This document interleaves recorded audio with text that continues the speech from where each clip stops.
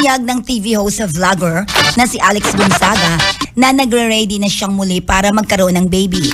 Sa kanyang Instagram broadcast channel ay ibinahagi ng asawa ni Mikey Morada na nagpunta sila sa isang immunology immunology doctor bilang paghanda sa kanyang muling pagbubuntis. Kalakip ng update ni Alex ay ang larawan nila ni Mikey na nasa loob ng sasakyan.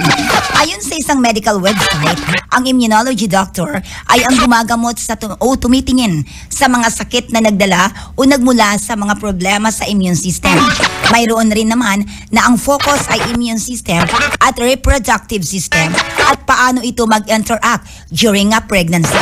Mula naman noon ay vocal na talaga si Alex kasi sa kanyang pagnanais na magkaroon na sila ng baby ni Mikey magmula nang una siyang makunan noong October 2021. Halos isang taon buhat nang ikasal sila ng konsehal.